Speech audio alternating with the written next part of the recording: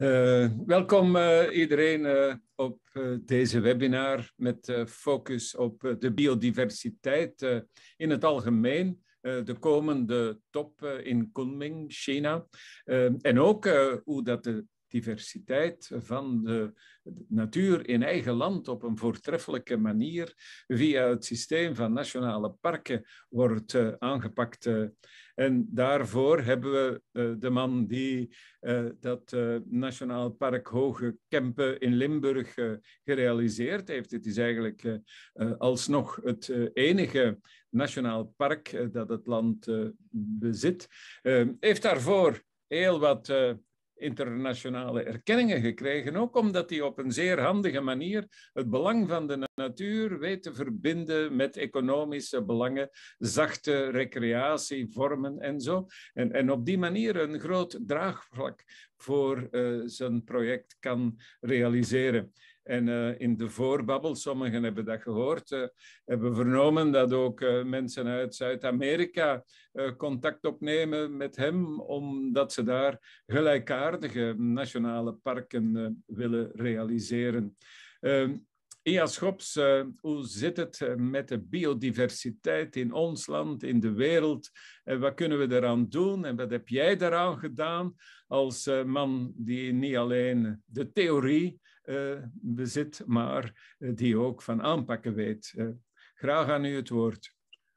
Ja, dank u wel, Hugo, voor de inleiding. En ja, welkom iedereen, zou ik zeggen. Ik ben blij dat ik opnieuw voor de grootouders voor klimaat mag spreken. Ik uh, ga dadelijk ook mijn, binnen, binnen een paar minuutjes, ik ga even een paar dingen zeggen al, uh, ga ik uh, mijn scherm delen, want ik heb een presentatie voorbereid, waar ik ongeveer 20, 25 minuten ga, vragen, ga, ga zeg maar presenteren en dan zijn er wat vragen en antwoorden. Dus natuurlijk, ik kan niet alles zeggen op die korte tijd, maar in ieder geval, je gaat wel een overzicht krijgen, denk ik, van de grote veranderingen die op uh, stapel staan misschien. En ook wel een aantal dingen uh, die ook op voorhand al gevraagd zijn door een aantal van jullie. Hè. Dus ik ga mijn scherm delen. Als dan zelfs nog iemand zegt dat het ook zichtbaar is, dan is het voor mij goed. Ik denk dat dat nu duidelijk is. Ja, dat is, dat is oké. Okay. Ja. Voilà.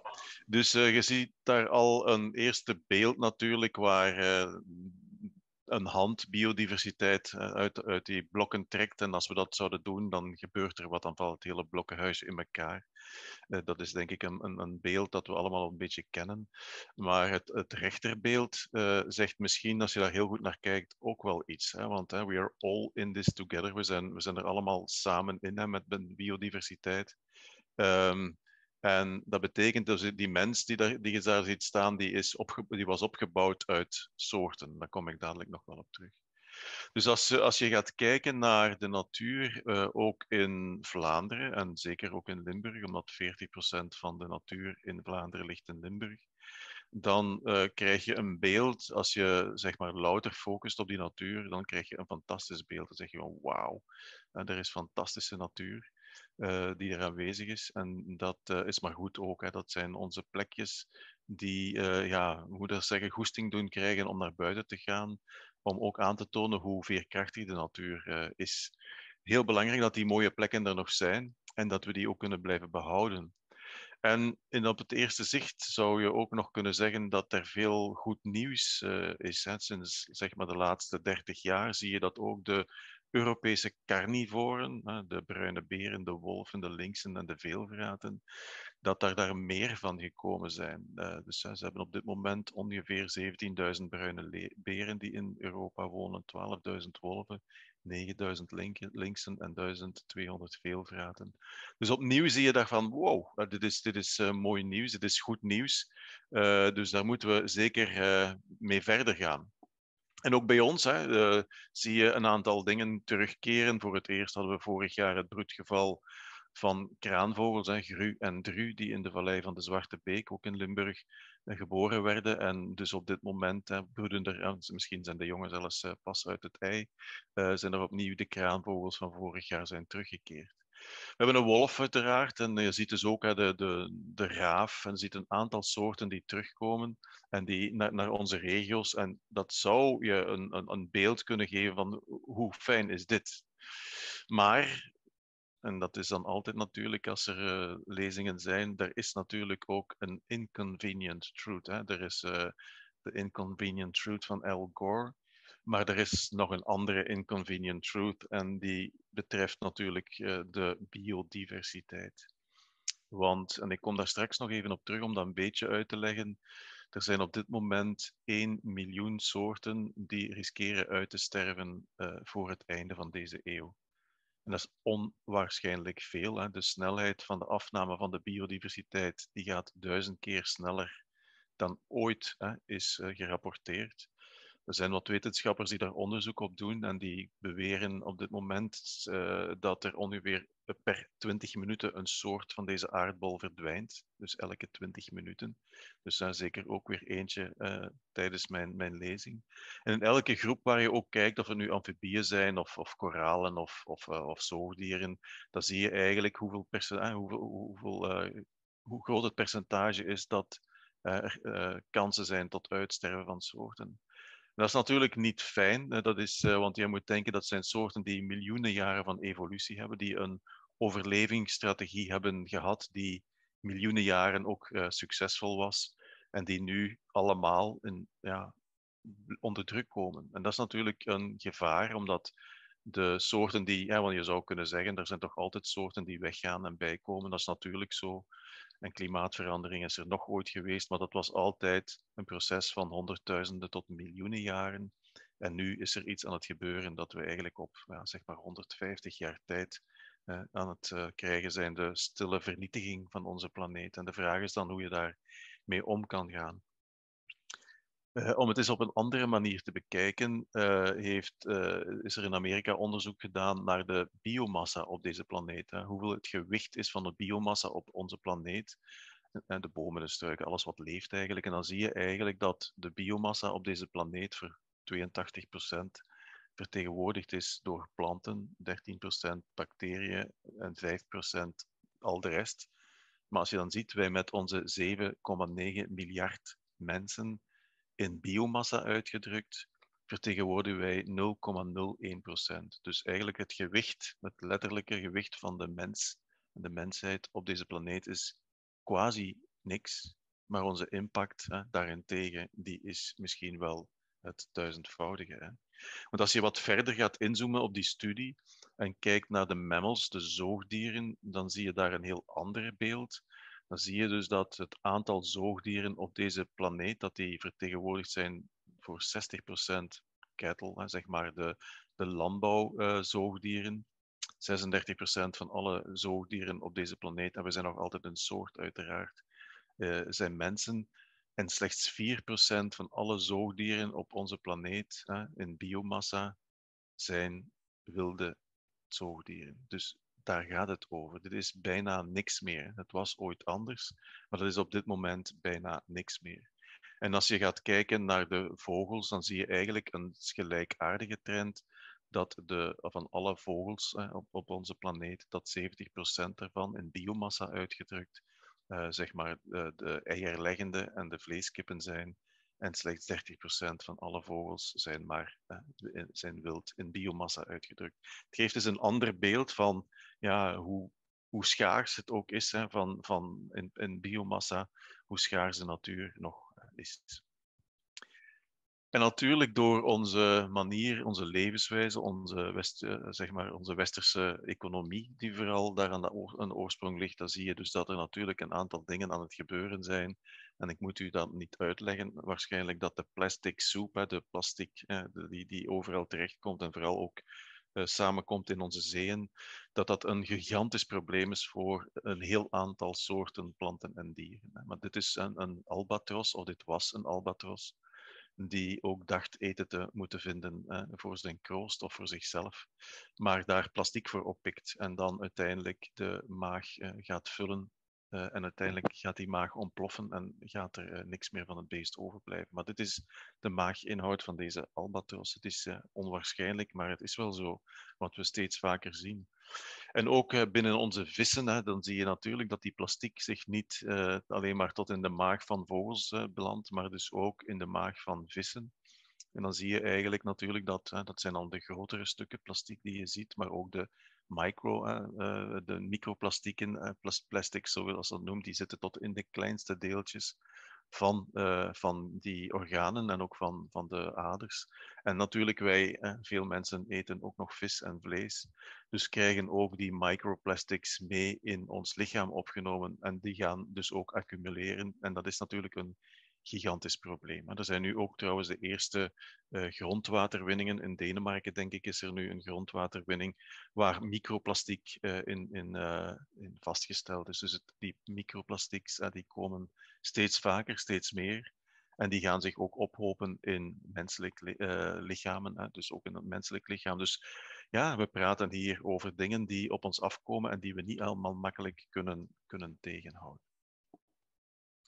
Is een beeldje dat we gewoon moet voor, uh, een beeld moet geven dat wij letterlijk zeg maar, onze longen uit de planeet aan het kappen zijn. En de vraag is hoe lang kunnen we dat nog doen? Hè? Hoe gaan we daarmee om? Uh, door zoveel bomen te kappen, uh, misschien al een relatie maken, want ik ga daar misschien niet te veel meer vandaag over zeggen, maar uh, heel veel bedrijven in de wereld die proberen hun CO2-uitstoot te compenseren. En die zeggen dan, we gaan daar bomen aanplanten in het regenwoud. En er is een studie gebeurd, denk ik, door Greenpeace International van twee jaar geleden, samen met WWF. En die zijn dus gaan optellen van hoeveel bomen er nieuw geplant gaan worden door al die uh, beloftes van die bedrijven. En dan bleek daaruit dat we meer dan één planeet nodig hebben om al die bomen die men belooft te planten, te planten. Dus er zit nog redelijk veel greenwashing, zoals dat noemt, hè, uh, tussen uh, ook die grote bedrijven. Hè. Men zegt dat men gaat compenseren, maar er is gewoon te weinig plek om te compenseren, dus het zal nooit gebeuren. Dus zeker zoiets om in het oog te houden. Hè. Want natuurlijk, met al die bomen kappen, dan hebben we soms niet door dat uh, als de boom weg is, dan is niet alleen het hout weg, maar dan is ook alle soorten die op en in en rond die bomen leven, eh, in die bossen leven, in die wouden leven, in die regenwouden leven, zijn dan verdwenen. En als je dat gaat kijken uh, over de afgelopen, zeg maar, van 1937 tot nu, dan zie je eigenlijk ja, iets wat heel logisch is. Misschien uh, in de evolutie, maar ja, zo uh, ja, impactvol, dat is dat het percentage aan wildernis, hè, op deze planeet sinds 1937, toen er nog 66% wildernis was op onze planeet, in 2020 al gezakt is naar 35%, bijna de helft. Hè. En het gaat nog steeds door. Hè. En uh, ik denk ook niet dat het in deze presentatie zit, maar hoe dieper we eigenlijk de wildernis binnengaan, hoe meer we natuurlijk geconfronteerd worden met ook de onaangename gevolgen van wildernis en al die soorten die daar leven. Uh, onder andere uh, COVID, ik kan er misschien zelfs nog iets over zeggen, uh, is een van die gevolgen van het diep ingrijpen in onze wildernis, waardoor je ook die negatieve gevolgen krijgt. Dus je ziet, er is een other, een, other, een andere inconvenient truth. Um, en dat zie je in zowat alle studies. Hè. Dus uh, de Living Planet Report van WWF, hè, die zeggen van kijk, van 1970 tot nu is er eigenlijk een populatie achteruitgaan van 68 procent. Men praat daar zelfs van een defaunation, van een ontzoogdiering, dus zodat de fauna, dus dat die, uh, dat die gigantisch achteruit gaat. Uh, zoogdieren en andere gewervelde dieren, uh, dat het ja, niet meer fijn is, hè, ongeacht de, de goede berichten die we soms ook in eigen land en, horen over of het nu de wolf is in Vlaanderen of veelvraten in Letland. Je ziet dus dat het eigenlijk op wereldschaal niet goed gaat. Uh, als je gaat kijken naar Europa, uh, dan zie je eigenlijk weer al eenzelfde trend. Dus uh, de Europese Unie mist zijn biodiversiteitstargets by a long shot. Dus u ziet dus, men probeert altijd beleid te maken voor een, altijd per decade, dus per tien jaar. Dus in 2010 heeft Europa gezegd, we willen eigenlijk een strategie voor 2020. En nu hebben ze er een strategie voor 2030, daar kom ik nog op terug. Maar in ieder geval, je ziet dat men doelen voorop stelt die dan uiteindelijk niet gehaald worden, hè, by far. Hè. Dus uh, dus eigenlijk een probleem dat een beleid maken één ding is, maar dat het beleid ook uitvoeren iets anders is. En nochtans is het ook een overeenkomst die men probeert te maken met de ja, met de samenleving, met alle mensen die in Europa wonen. Vandaar dat er steeds meer druk ook komt, en daar kom ik straks nog op terug. Dat is ook een vraag, denk ik, rond ecocide en zo, kom ik nog op terug. Als je gaat kijken naar hoe wij het als Belgen dan doen over de status van de instandhouding van de soorten, dan zie je dat we eigenlijk uh, ook hier onderaan de groep bengelen.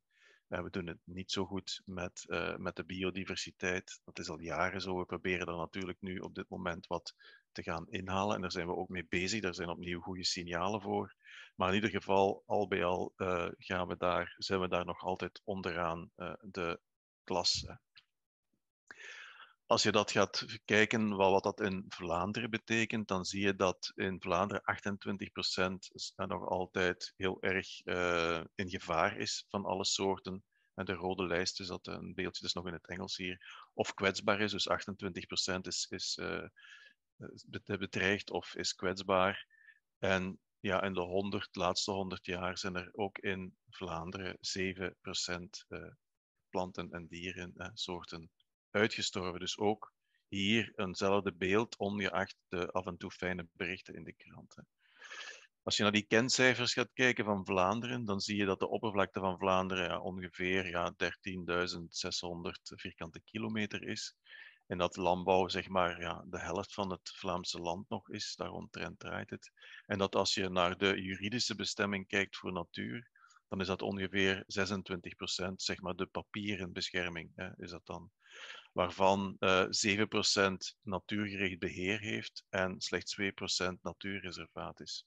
Dus je ziet dat er is een heel groot verschil tussen wat er op papier in bescherming uh, kan genieten, maar wat er in werkelijkheid als bescherming is. Hè. En een goed, een goed, voorbeeld is daar de heide, hè, die, de heide die zo uh, mooi delen van Antwerpen en Limburg kleurde en ook wel een stukje aan, aan de kust nog. Maar die is met 95% afgenomen sinds 1850. Ehm, en is nu nog maar 1% van de oppervlakte, maar heeft 15% van de rode lijstsoorten. Dus die heidegebieden zijn zo essentieel ook voor een aantal soorten uh, die nu heel erg aan het verliezen, die we heel erg aan het verliezen zijn ja, door ons hokjes denken, hè, van alles moet een plek krijgen en we gaan alles scheiden van elkaar, de industrie en de, de, de, de KMO-zones en de landbouwzones van de natuurgebieden en de urbanisatiezones en zo verder, dan zie je eigenlijk dat dat ja, leidt tot versnippering. Hè. België is na Malta het meest versnipperde Europese land. Uh, eh, 89% van de half natuurlijke ecosystemen ligt op een gebied dat kleiner is dan 1 hectare. Hè. En we gaan nog altijd, en verliezen nog altijd 5 hectare per dag aan betonisering, laat me zo maar zeggen. Soms zegt men alle wegen leiden naar Rome. En ik denk dan altijd, ja, ze zullen precies toch eerst door Vlaanderen komen voor ze naar Rome, in, in Rome aankomen. Oorzaken, ja, die zijn eigenlijk allemaal bekend. We weten heel veel. Hè. Dus er is een hoge milieudruk hè, voor die, uh, op die soorten planten en dieren. En we kennen allemaal die uh, vee, hè, die vee van verontreiniging, vervuiling, versnippering en zo verder. Die legt een gigantische druk op de biodiversiteit. Denk maar aan de stikstof op dit moment, dat uh, hoog op de politieke agenda staat. Heeft een groot probleem. En dus ook daar, zegt men, dus weten we van wat de oorzaken zijn. Dus wat we moeten doen, weten we. Dit is een, uh, iets wat uh, misschien voor velen ook al bekend is. Dat is eigenlijk wat men noemt de, de verschuivende referentiebeelden, de shifting baselines. Dus dat is eigenlijk iets waar we steeds vaak, we vergelijken steeds naar een beeld, een basisbeeld, een referentiebeeld, dat er veel armer uitziet dan het ooit was, waardoor je eigenlijk slechte vergelijkingen gaat maken. Dus mijn ouders die zagen naar een landschap en die, voor hun was het referentiebeeld een landschap met gigantisch veel ja, leven in. Ik zelf heb ook een landschap gezien met ook leven in. En voor mij was dat beeld het referentiebeeld van wat natuur was. Maar als je dat vergelijkt met die van mijn ouders, dan is dat gewoon veel minder. En dus dreig je eigenlijk een, als referentiebeeld een zeer arm of een armer beeld te hebben dan mijn ouders hadden. En als je naar mijn kinderen kijkt, die kijken ook naar een landschap en die zien ook een aantal soorten en die denken dat dat de norm is, hè, dat het referentiebeeld is. Maar als je dat dan vergelijkt met mij of mijn ouders, dan zie je eigenlijk dat dat referentiebeeld helemaal niet meer klopt. Hè. Dat is een heel, uh, denk ik, belangrijk iets dat we dat goed inzien. En het geeft natuurlijk ook te kennen dat, uh, want je kan dan uh, ook als grootouders voor het klimaat zeggen, ja, de goede oude tijd. We moeten terug naar het verleden, maar dat, daar kopen jongeren niks mee. Hè. Je moet eigenlijk vooruit naar de toekomst, hè. forward to basics. We moeten eigenlijk een toekomstbeeld schetsen waar jongeren aan kunnen meewerken, dat eigenlijk het beeld is, het landschap is van onze ouders of van mijn ouders. En daar moeten we naartoe om dat referentiebeeld terug te goed te krijgen.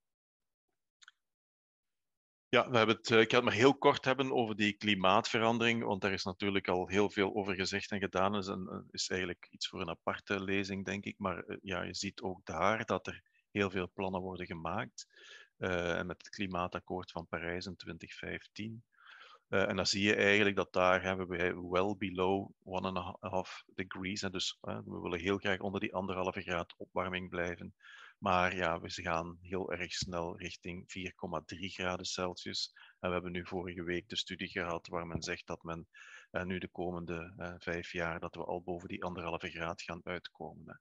Het zijn ja, toch wel harde cijfers die binnenkomen en waardoor ook natuurlijk heel wat burgers, en niet, uh, zeker jullie ook, die opkomen voor ja, de, dat klimaat, omdat dan natuurlijk onze voetafdruk zodanig zwaar op onze planeet gaat duwen dat wij ja, uh, dat, dat, ook, dat we dreigen net ten onder te gaan en zeker geen toekomst meer kunnen bieden aan onze kinderen en onze kleinkinderen en alle soorten die daarop leven.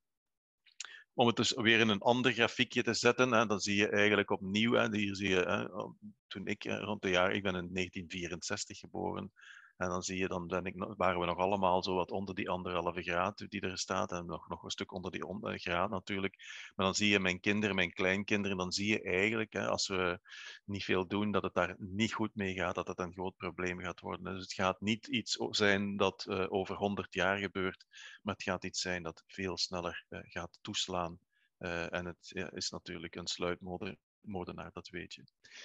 En als je dan gaat kijken naar de biodiversiteit, dan, zie, dan weet je natuurlijk dat een boom veel minder mobiel is dan een vlinder of een, uh, of een zoogdier hè, of een vogel. En dan zie je natuurlijk dat die global warming, die opwarming van de aarde, natuurlijk tot gevolg heeft dat een aantal soorten, als ze het te heet onder hun voeten krijgen, nog kunnen opschuiven naar wat hogere en dan meer noordelijke, koudere plekken. Maar dat dat voor heel, een heel aantal minder mobiele soorten helemaal niet meer mogelijk is. En dan zie je natuurlijk dat dat ja, heel snel bergaf gaat met die soorten die weinig mobiel zijn of soorten die gewoon niet meer kunnen migreren naar een gebied uh, dat misschien wel de temperatuur dan nog wel heeft die, waarin ze kunnen leven, maar waar de natuur en het habitat helemaal verdwenen is. Dus dat ze tussen de huizen moeten wonen en dan onmogelijk wordt. Dus je ziet dat hè, biodiversiteit en klimaatverandering zijn verstrengeld met elkaar, zijn twee zijden van eenzelfde muntstuk. En dan zie je natuurlijk dat, wij, ja, dat, dat er eigenlijk die puzzelstukken die zo mooi harmonisch in elkaar, in elkaar zaten eh, op onze planeet, dat die uit onze planeet aan het vallen zijn. En dan moet je de vraag stellen, hoeveel van die puzzelstukken moeten we nog verliezen vooraleer de wereld helemaal in elkaar klapt. Als het dan gaat over biodiversiteit, dan is er denk ik wel een belangrijke boodschap om dan niet alleen te focussen op de bloemetjes en de bijtjes, want dat is maar een klein deel van de biodiversiteit. Hè. Want het gaat ook, ook, over ons voedsel, het gaat over ja, onze, ons water dat ons hè, drinken geeft en het gaat zeker ook over onze gezondheid. Want ik weet niet of jullie dat weten en dat is wat minder zichtbaar, dat is de bodembiodiversiteit, dus zeg maar de micro-organismen en de, de, de regenwormen die in de bodem zitten, al die kleine dingetjes die daarin zitten, die eigenlijk onze bodems zo, ja, zo vruchtbaar maken, sommige dan toch, hè, want in de woestijn kan je geen tomaten kweken, bij wijze van spreken. Daar heb je heel uh, goede vruchtbare gronden voor nodig. Maar dus in die vruchtbare gronden gaat de achteruitgang van de biodiversiteit even snel dan geprojecteerd. Hè, wat, ik u al heb laten tonen. Het gaat daar ook duizend keer sneller dan uh, ooit gerapporteerd. En dus op wereldschaal is men daar zeer, zich zeer bewust van dat eigenlijk onze voedselvoorziening mogelijk ook, hè, niet alleen door klimaat, maar ook door het verdwijnen van de biodiversiteit, dat die heel snel bergaf gaat. En ja, wat ik al zei, het gaat ook over gezondheid. Hè. Dus uh, in en op ons lichaam zitten ongeveer 150 miljard levende kriebeldingsjes, heel kleine uh, levende organismen, die uh, ook natuurlijk ecosystemen vormen. En ook daar hè, gaat het pijlsnel achteruit. Dus onze, het ecosysteem van ons lichaam uh, neemt even snel af dan de rest. Dus dat betekent dus dat als we praten over de biodiversiteit, dat we zeker dat mee moeten nemen dat het gaat ook over veel meer dan alleen maar de bloemetjes en de bijtjes. En eigenlijk is het simpel. Hè? Dus als je zelf een temperatuursverhoging hebt van 1 graad Celsius, hè, als we de thermometer nemen en we meten wat meer dan 37 graden, dan gaan we naar de dokter en dan laten we ons behandelen. Maar als dat voor de planeet gebeurt, dan hebben we er precies daar minder moeite mee. Dus our body, our planet, hè, dus we kunnen aan ons eigen lichaam dikwijls wel aflezen van hoe onze planeet uh, ook gaat reageren met een te hoge temperatuur. Daar wordt heel veel onderzoek op gedaan. Hè. Uh, vooral uh, Johan Rockström is daar vooral heel erg mee bezig geweest in Zweed. En die zegt, ja, we zijn nu eigenlijk echt wel die planetaire grenzen aan het overschrijden. En dan gaat het vooral over de biodiversiteit en de stikstof die, die overschreden is en het klimaat, waar we, nog, ja, waar we ook nu snel aan overschrijding gaan hebben. Dus het gaat daarover, we, we zitten in een zeer moeilijke situatie. De ineenklapping of de ineenstorting van onze planeet, die is wel heel erg. Vandaar dat er opnieuw plannen worden gemaakt. En opnieuw, ik zou zeggen, als je dus de duurzame ontwikkelingsdoelen, als je daar een voorstelling van geeft, de Sustainable Development Goals, dan is volgens mij dit de enige manier om het voor te stellen. Niet zo in zo die, die vlakke beeldjes naast elkaar, maar deze voorstellingswijze waarin de biosfeer eigenlijk de basis vormt voor hoe we onze, onze samenleving moeten opbouwen en hoe met een inclusieve samenleving onze economie moet georganiseerd worden, want anders is het niet haalbaar. Deze projectie bestaat al een tijdje en is eigenlijk een beetje de voorbode van zeg maar, de, de duurzaam, de, wat het concept duurzaamheid die zich, nu, uh, die zich nu aan het verschuiven is, waar met de, de, de driehoek van duurzaamheid en people, planet, profit, waar elke driehoek even sterk was, krijg je nu een, zeg maar, een betere, denk ik, voorstelling waarbij eigenlijk de biosfeer de basis is voor elke vorm van duurzaamheid. Als we die niet in orde krijgen, dan hebben we een groot probleem. Dus alles zal regeneratief moeten gaan gebeuren. Um, dan, ja, Koen Ming, uh, Hugo heeft er al iets over gezegd. Ik heb daar heel proberen toch iets over, uh, over uh, een slideje te maken. Jullie, hoor, jullie horen daar heel veel van. Je hebt de Verenigde Naties, hè, United Nations. Daar gebeurt geweldig veel in. En daar zie je dat er, dat er conventies worden afgesproken. En links zie je de conventie rond de klimaat en rechts de conventie rond biodiversiteit. En dus die conventie voor klimaat is de, wat men noemt de UNFCCC, de United Nations Framework Convention on Climate Change, die eigenlijk die COPs, de Conference of Parties, gaat voorbereiden. Dus dat is eigenlijk de, de achtergrond, de conventieachtergrond voor de klimaattops. Die top 27 die nu in Sharm el-Sheikh gaat doorgaan. Uh, en je hebt ook gehoord van het IPCC, het Intergovernmental Panel on Climate Change. Dat zijn eigenlijk dat zijn de wetenschappers samen met, met de beleidsmensen die uh, die rapporten allemaal maken. Dus zeker hou mee in het achterhoofd dat die rapporten die uitkomen van het IPCC al een beleidssausje uh, gekregen hebben. Hè. Dus uh, daar is al een beleidsvertaling op gebeurd. Dus het, al, het wordt minder ernstig voorgesteld soms dan het is. Hè.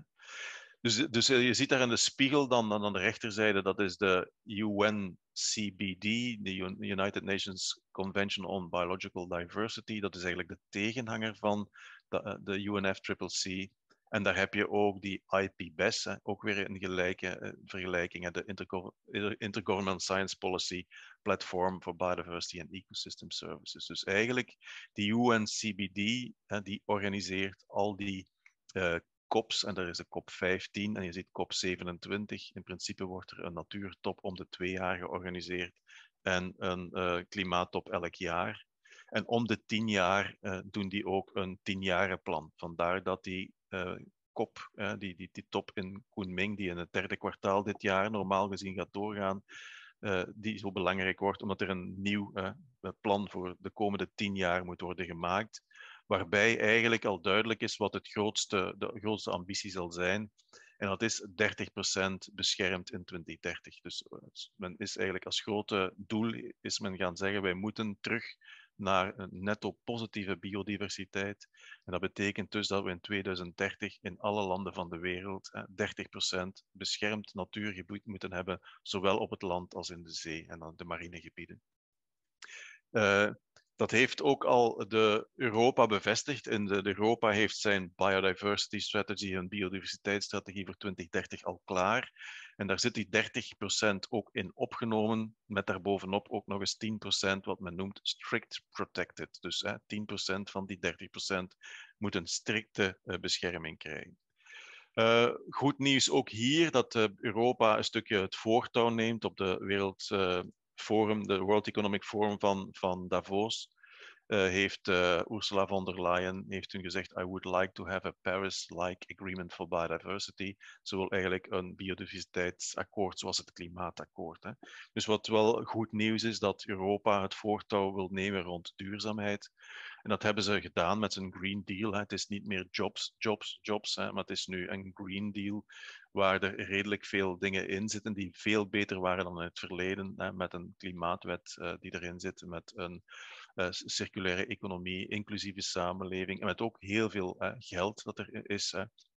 Dus op zich wil Europa een stukje de leiding nemen in dat mondiale debat rond transitie, rond duurzaamheid. Nog gauw iets ook over nationale parken en landschapsparken. Dus daar is nu toch redelijk veel animo hè, in België. Nationale parken, gewoon om een beeld te geven, er zijn er ongeveer hè, 1900 in de wereld. Daar komen er elk jaar bij, hè, dus ongeveer. In Europa zijn er dat 600. Uh, en landschapsparken, daar staat negen, maar dat klopt niet. Dat is, dat, dat moest een vraagteken staan. Ik ben daar te snel in mijn typen geweest. In Europa zijn er 900 ongeveer. Dat noemt men dan regional parks. Hè. Dat zijn een soort van landschapsparken. Uh, dus die zijn nu in volle opmaak. Hè. Dus zoals jullie weten komen er drie nationale parken bij in Vlaanderen. En komen er ook twee, en, en twee nationale parken bij in Wallonië. En er komen dus ook een aantal landschapsparken in Vlaanderen bij, wat een zeer goede zaak is, denk ik. Ik kan er straks nog op ingaan. Ik ga even mijn, mijn, presentatie afmaken, want er was ook een vraag rond ecocide en, en de Rights for Nature. En vooral van, kan ecocide, kan dat, help, uh, kan dat helpen om de, ja, de vernietiging van onze planeet tegen te gaan? Ja, ik denk absoluut. Hè. Dus uh, dat is absoluut iets wat we kunnen gebruiken, waar er nu heel veel onderzoek op gebeurt. Hè, dus uh, om dat te gaan ja, vormgeven. Um, en daar, ik zet daarbij Rights for Nature, omdat dat vooruit, vooral vanuit Zuid-Amerika ook komt. Hè, dus waar je nu ook in Europa voor het eerst, hè, Mar Menor en Zoutmeer uh, eigenlijk in, in, Spanje, dat rechten heeft gekregen, net zoals een bedrijf rechten heeft heeft dus uh, nu ook een eerste plek in Europa rechten gekregen waar je eigenlijk als kan opkomen voor de rechten van het zoutmeer al daar. Dus absoluut een kans om dat te doen. In principe is het wel zo dat heel veel landen zeggen van kijk, we hebben ook een milieuwetgeving en die moet daarin opgenomen worden. het is natuurlijk, gaat allemaal over de, de opvolging van de milieu en de handhaving die dat moet kunnen re reguleren. En dat is natuurlijk nog een andere zaak. Maar het is absoluut een goede zaak. Het is ook een trend die positief is. Hè. Dan was er nog een vraag rond agroforestry of voedselbossen. Uh, kunnen die deel uitmaken van landschapsparken? Ja, absoluut kunnen die dat. Hè.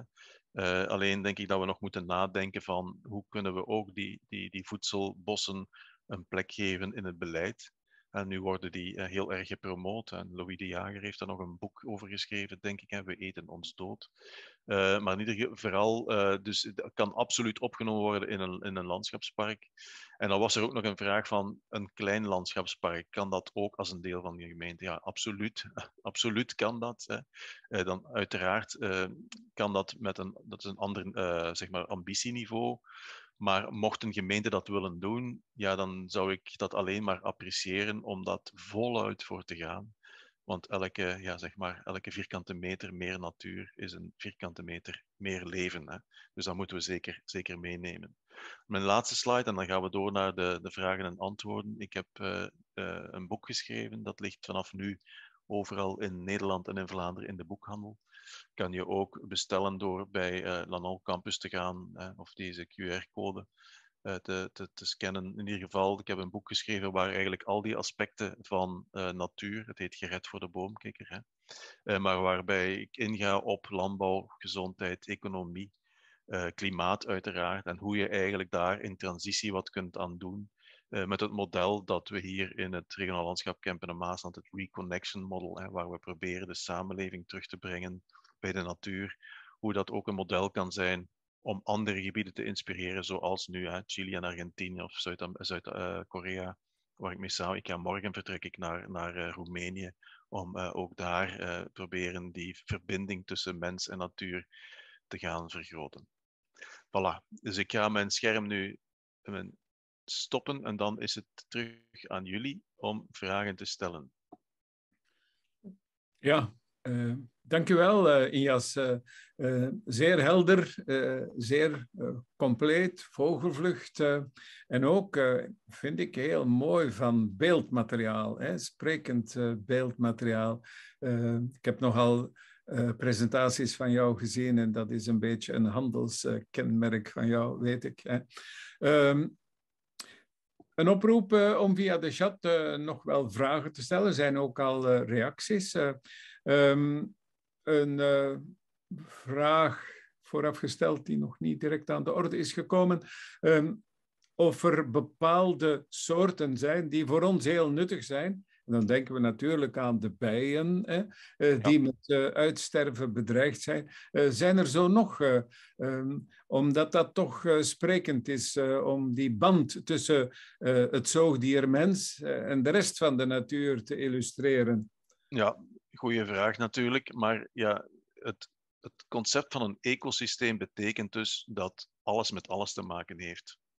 En uh, ik vergelijk natuurlijk het nogal eens graag, en in mijn boek doe ik dat ook zo, als een uh, één grote levende machine. Hè? Die moet draaien, onze planeet als één grote levende machine. Stel je voor dat je een, een motor hebt, een auto of een, een vliegtuigmotor. Ja, hoeveel schroeven moeten daaruit vallen voordat die motor niet meer werkt? als je onze biodiversiteit ziet als onderdelen van een levende motor, dan ja, hoeveel soorten moeten daaruit vallen, hoeveel schroeven, hè, levende schroeven moeten daaruit vallen vooraleer die motor begint dus, uh, tegen te stribbelen. Dus je hebt natuurlijk wel een aantal wat men noemt hè, uh, flagship species, dat zijn eigenlijk van die iconische soorten zoals bijen, hè, die, die, die iedereen herkent, waar ook een, een soort van aaibaar verhaal, we, we, we houden allemaal van bijen, en die zijn een stukje, zeg maar, staan symbool voor een uh, ecosysteem dat daaraan gekoppeld is. Je moet uh, bloeiende bloemen hebben en zo verder. Zo zijn, er, zo zijn er nogal wat van die flagship species. En dikwijls zijn dat de species die dan bovenaan de voedselpiramide staan, die, uh, waar, waar je fantastische dingen ziet. Um, maar dat zou lang leiden. Maar bijvoorbeeld, men heeft nu vastgesteld, en, en dat is een bekend verhaal, hè, maar dat is wel een, een mooi verhaal, hoe de wolven in Yellowstone Park eigenlijk het hele de hele natuur spectaculair doen veranderen in positieve zin. Hè. Dus dat zie je, zie je daar. Uh, dus er zijn nog wel een aantal soorten die je daar kan. Maar ik, voor mijzelf hè, is elke soort even belangrijk omdat net elke soort zijn rol vervult. Hè. Jullie weten of waarschijnlijk dat, of jullie hebben dat denk ik twee jaar geleden was dat, uh, waar dat onderzoek gebeurd is in, in Duitsland, waar er tot 70% minder insecten zijn. Je zal zeggen, al die kleine dingetjes die, die doen er niet toe, maar dat is allemaal eten voor andere dieren. En dan ga je altijd hoger in, dat, uh, zeg maar in die voedselpiramide. Dus als er geen insecten zijn, zijn er veel minder vogels. Als er veel minder vogels zijn, zijn er minder uh, roofvogels en zo verder enzovoort.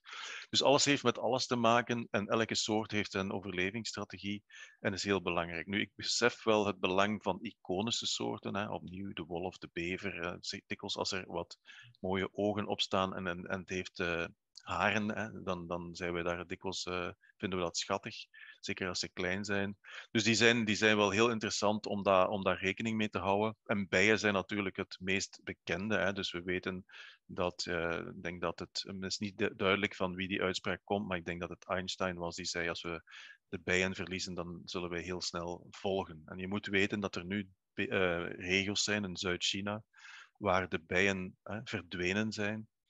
Waar, ik, want ik heb het uh, heel op het laatste moment nog uit mijn presentatie gegooid. Het zat er eerst in. Waar dus nu mensen in bomen, appel- en perenbomen moeten kruipen met een penseeltje en met een borstel. Om eigenlijk de bestuiving uh, te gaan doen manueel. En dat uh, eigenlijk wij nog altijd elke dag gratis en voor niks krijgen. Dat is een groot verschil. De appel kost daar iets meer dan wij die hier gratis krijgen. Yves van den Bossen neemt uh, de term klein landschapspark uh, meteen uh, over om in Leuven te ijveren voor het klein landschapspark Kesselse Bergen. Uh, zijn er instanties, die burgers die zo'n initiatieven willen nemen in hun gemeente, zijn er instanties die daarbij kunnen helpen? Ja, weet je dat, dat, bestaat al zelfs veel, alleen hebben we het nooit zo genoemd. Er zijn heel wat natuurgebieden die dikwijls aan de rand van een uh, gemeente liggen, of soms zelfs natuurgebieden die, ja, of, of, grotere parken die in gemeenten liggen. Alleen moeten we, denk ik, leren om nu die waarden daarvan heel goed te gaan uh, articuleren en zeggen wat dat kan betekenen voor een lokale samenleving. Hè. Niet alleen voor de planten, dieren en, uh, die daarin leven, maar ook voor onszelf natuurlijk. Want we hebben dat met COVID gezien, hè, met corona, dat wij heel graag toch terug naar buiten gingen om te helen. Maar die socio-economische waarden van natuur en landschap, dat is wel de taal die dikwijls besluitvormers kennen. En uh, ja, ik heb ook zo ergens in een andere uh, presentatie heb ik zo eens een foto genomen van, uh, van New York hè, met Central Park waar al die wolkenkrabbers rondstaan. En dan zie je Central Park daar als een soort van ja, rechthoek in liggen. En dan zeg je, goh, ze hebben dan toch iets bewaard. Dat zou een stadsparkje kunnen zijn. Maar als je naar de socio-economische context daarvan kijkt, dan, gebeurt er, dan is er iets spectaculairs. Want als je met je venster op het Central Park uitkijkt, dan liggen de prijzen per appartement vier keer hoger dan als je niet uitkijkt op het, het Central Park. Dus de waarde van natuur, die is er wel degelijk. Ik kan het ook projecteren naar Vlaanderen. Zicht op zee, een appartement met zicht op zee, je moet het eens vergelijken gewoon in prijs naar niet zicht op zee. Dan zie je eigenlijk, heeft natuur waarde? Ja, natuur heeft een gigantische waarde.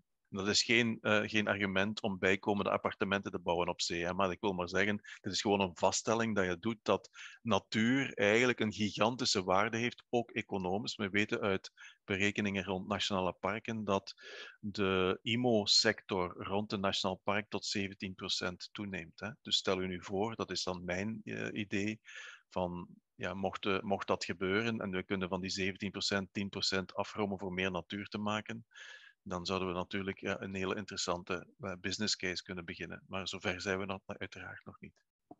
Ja, maar het is een goede tip om dat economische argument uh, zeker ook te gebruiken als men in gesprek gaat met gemeentebesturen en dergelijke, want die zijn daar uiteraard zeer gevoelig voor. Uh, er is uh, ja, jij hebt mooie beelden getoond, onder meer van dat Nationaal Park van jou.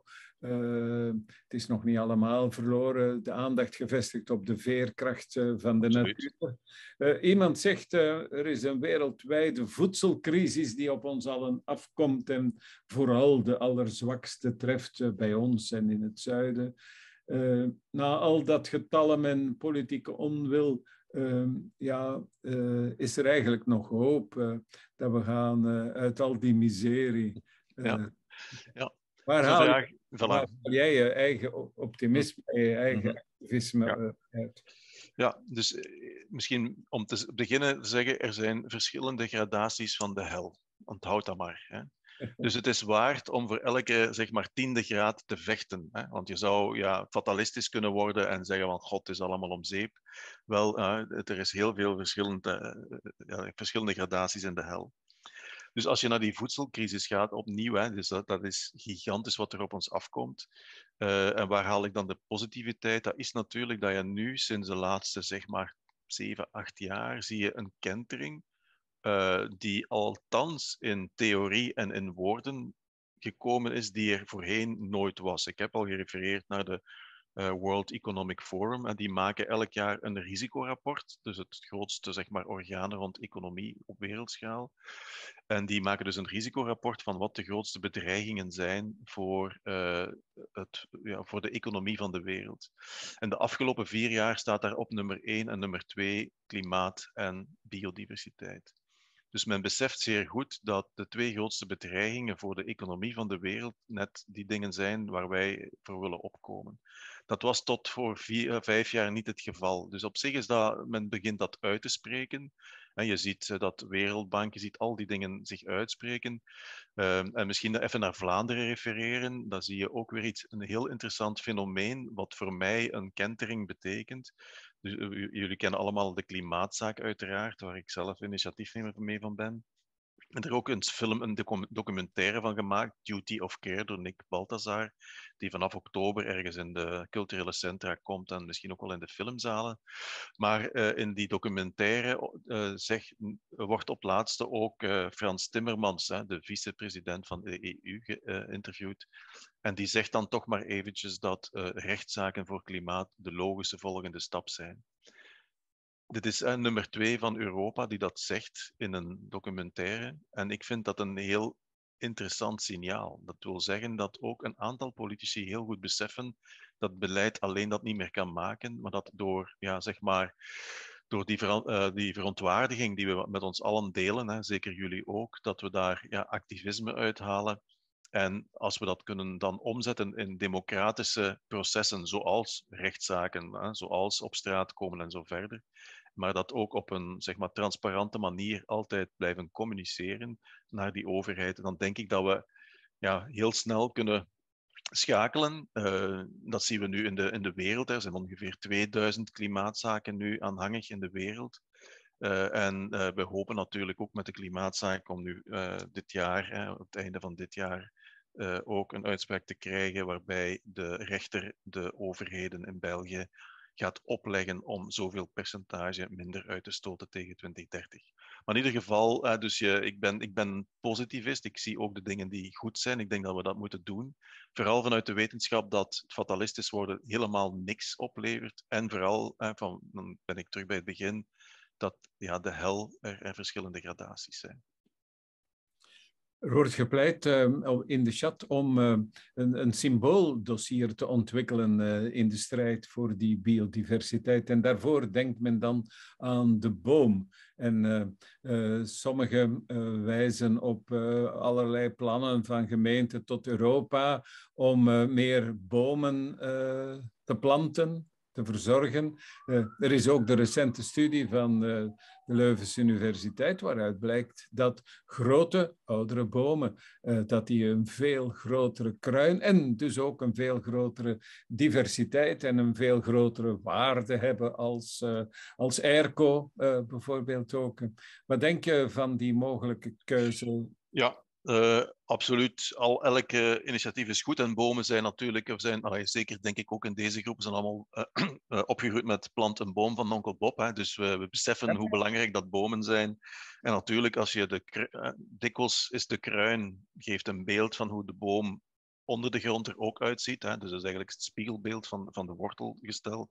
En we weten steeds meer natuurlijk dat hè, die schimmelnetwerken die uh, in de grond zitten, dat dat eigenlijk zeg maar, het netwerk is hè, de, van, van communiceren met, met bomen en planten. Dus dat is een hele belangrijk om daar iets rond te doen. Ik heb daar zelf uh, initiatief een paar keer al voor genomen. Ik hou ook niet op om een soort van ja, natuur- en klimaatbarometer op de nieuwsrapporten van de VRT en VTM te krijgen. Waar je, hè, we bekijken altijd naar de economische cijfers. Waarom zouden we ook niet naar de ecologische cijfers kunnen kijken, één keer per week of één keer per maand? Uh, maar dat is allemaal heel moeilijk, dus we proberen daar wel op door te zetten om dat te doen. Uh, en rond die bomen misschien nog één ding, omdat ik ben daar zelf nu met, vorige week was Louis de Jager bij mij, kwam op bezoek. En het gaat dan over die voedselbossen, maar je ziet natuurlijk dat op dit moment de huidige minister, zowel die meer, die wil 4000 hectare meer bos, maar er is nog maar 800 hectare van gerealiseerd. En de vraag is dan, ja, wat, wat scheelt er dan? En dat heeft vooral te maken met de grondmobiliteit. Er is heel weinig grondmobiliteit, dus weinig grond dat in de aanbod komt op de markt, die je dan gaat kunnen bebossen. Dus zolang je daar niks kan voor verzinnen, heb je een probleem om nieuw bos uh, te gaan planten. En ik ben nu met één denkpiste zelf bezig om te kijken of je een voedselbos, waar, waar het dan dikwijls over gaat, omdat als dat ook zou kunnen uh, een, als bos gedefinieerd worden, dan kom je eigenlijk misschien wel eens in een interessante piste waarbij ook uh, in de landbouwsector uh, dit soort van ideeën kan opgenomen worden, waar er eigenlijk nog winsten te halen zijn uit grond door de, de voedselbossen, maar dat bos op zich ook zo ecologisch beheerd wordt, dat het ook als bos kan gecatalogiseerd worden, waardoor je eigenlijk een win-win situatie krijgt. Dus een beetje verder denken. Ik weet niet of dat helemaal gaat lukken, maar ja, dat zijn de dingen. Hè. De bomen zijn onze. Ja, ik, ik heb ooit een, een lezing gegeven. Uh, dat was helemaal opgebouwd naar zo hè, van. Stel u voor dat Elon Musk zou zeggen dat hij een, een, een, nieuwe, ja, een nieuw idee heeft gehad. Een, de, een, een, soort van machine dat ons, uh, onze planeet gaat verkoelen en daar een heel veel fuss hè, rond doet op de sociale media. En dan uh, bij, de, bij de bekendmaking zegt, ja, het is een boom. Hè. Het kost niks. Het is regeneratief. Uh, en wij kunnen eruit leren. Dus eigenlijk zouden we zo een soort van ja, model moeten opzetten. Ik, ik hou wel van dat soort ideeën van ja, de bomen zijn onze natuurlijke uh, airco's. Trouwens, hè, bomen en de natuur, daar is geen afval. Hè. En dat hebben wij alleen maar zelf uh, onszelf wijsgemaakt dat we afval moesten hebben, maar in de natuur is er geen. Hè. Dus we kunnen daar nog zoveel van leren. Je hebt even gesproken over het uh, stikstofdossier dat volop in mhm. de actualiteit uh, zit, uh, maar je hebt dat niet direct erg geëxpliciteerd. hoe, hoe moet dat worden opgelost? Ja, dus ja, je weet dat, uh, dat rond stikstof dat uh, België en ne of Vlaanderen en Nederland, moet ik eigenlijk zeggen, ja, zeg maar in Europa veruit de koplopers zijn rond stikstof. Hè. Dus te veel aan stikstof, zeker die zich uh, manifesteert rond natuurgebieden, waar het het meest duidelijk is. Maar natuurlijk ook op andere plaatsen. En één beeld dat moet bijgesteld worden, is dat stikstof niet alleen over de relatie stikstof en dus landbouw en natuur gaat, maar ook over onze eigen leefkwaliteit. Hè. Dus stikstof heeft ook een negatieve impact op ons leven. Want je krijgt een aantal uh, landbouwers die dan zeggen, ja, ze moeten die, we liggen tekort bij een natuurgebied. Hè, daarom uh, moeten we nu inperken. Nee, nee, ze stoten te veel stikstof uit. Hè. Dus het is, snap je, het gaat ook over de, het verhaal dat moet verteld worden. Maar natuurlijk, die boeren die hebben niet met opzet stikstof uitgestoten omdat ze dat graag zouden willen doen. Hè. Dat is een, een, een veruitwendiging van een, van een systeem. En dat systeem moet veranderd worden. En daar denk ik dat we ja, vind ik dat we een nieuw verhaal moeten gaan vertellen, omdat er zijn weinig sectoren waar er 3 miljard euro wordt voor vrijgemaakt om een transitie in te zetten. Die 41 bedrijven die moeten opgekocht worden, is een start om een transitie te maken naar een soort van ja, regeneratieve landbouw. Uh, dus ik ga ook uh, volgende week, nee, binnen twee weken zit ik samen met de nieuwe voorzitter van de Boerenbond uh, om daarover een begin van een gesprek te doen. Ik weet niet hoe dat gaat lopen, maar ik, ben daar, ik wil daar wel positief insteken. Dus de landbouw van de toekomst zal anders moeten. Uh, we zullen binnen 30 jaar totaal anders eten dan nu. En we moeten niet blijven vastzitten in de, de, de systemen die we nu kennen. Hè. We, we, proberen altijd te, te, handelen in de beelden die we kennen, maar de eiwitrijke, plantaardige mogelijkheden zijn echt gigantisch groot. Uh, trouwens ook nog, want daar was je mee begonnen, Hugo, hè, van de voedselcrisis wereldwijd. Er zijn berekeningen rond gemaakt of we wel voldoende ruimte hebben om de, de monden van de wereld te kunnen voeden. Dus die ruimte is er, die kan nog zelfs veel, erg, uh, veel, meer, veel uh, kleiner worden. om, om dat te doen. En misschien nog rond die wereldbevolking nog één ding zeggen. Dat is een begin van goed nieuws. Dat is dat de groeisnelheid van de wereldbevolking aan het afnemen is. We groeien ietsje minder snel dan uh, tot voor kort. Dat betekent eigenlijk dat de, de groeirem is ingezet. Dus we gaan nog groeien. Men denkt op dit moment tot 11 miljard mensen, maar dan gaat het afnemen. En hoe je dat moet doen, dat is, ja, daar is ook veel onderzoek rond. Hè, dat, en de, de, de conclusies daarvan zijn dat de beste uh, garantie voor de afname van de wereldbevolking neerkomt op de educatie van vrouwen in ontwikkelingslanden. Hè. Oké, we gaan uh, afronden. Uh, uh, je hebt het ook over de voedselbossen gehad daarnet. ik wil even aanstippen dat een van onze ambassadeurs, Trace de Bruyne, daar erg mee bezig is. met een um, project in Aalst bijvoorbeeld. Hij heeft er ook een webinar over gegeven en die staat op YouTube. net zoals de webinar nu van uh, IAS daar ook zal uh, terechtkomen. Uh, IAS, wel bedankt. het was zeer, zeer verhelderend, vind ik. Zeer compleet ook. En vooral moedgevend voor de activisten die we zijn, in feite. Hè. Het heeft echt wel veel zin om voor elke tiende van een graad serieus te vechten voor de toekomst van onze kleinkinderen. Wel bedankt en veel succes met je boek en met alle acties die je onderneemt.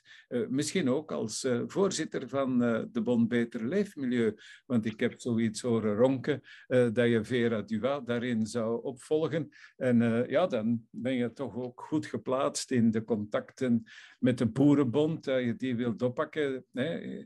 Eh, omdat jij zoveel besef hebt, ook voor het economische en zo, moet dat misschien wel lukken om tot uh, betere verstandhouding te komen tussen natuur en landbouw in Vlaanderen, want dat is toch een heel serieuze opdracht. Succes daarmee en bedankt. Ja, dankjewel voor het luisteren en tot binnenkort ergens.